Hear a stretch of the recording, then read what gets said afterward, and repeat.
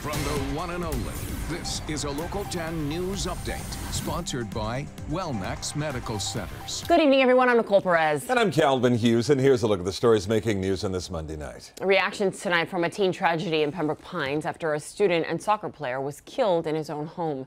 15 year old Achilles Lopez died Saturday night after what police are calling an accidental shooting by a relative. A former coach who has known the teen since he was seven years old is devastated. The Miramar United Elite Soccer Club also providing grief counselors for Lopez's teammates tonight at the Sunset Lakes Community Center. As of now, charges have yet to be filed for this incident. Only on 10 tonight, a gray gang spray painting threatening messages on a place where people got to get help, or rather go to get help. This incident happened Memorial Day weekend, leaving workers afraid. Here's video of the alleged vandals threatening words graffitied on a pregnancy center in Hollywood. The vandalism comes as, as the debate over women's rights to an abortion continue.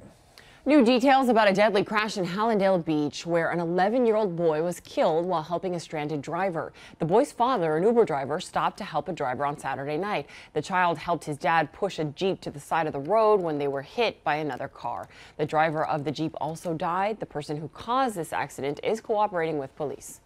Traveling through almost the whole world to meet a random guy and he turns out to be one of the best things ever. It's like how, Aww. what a coincidence.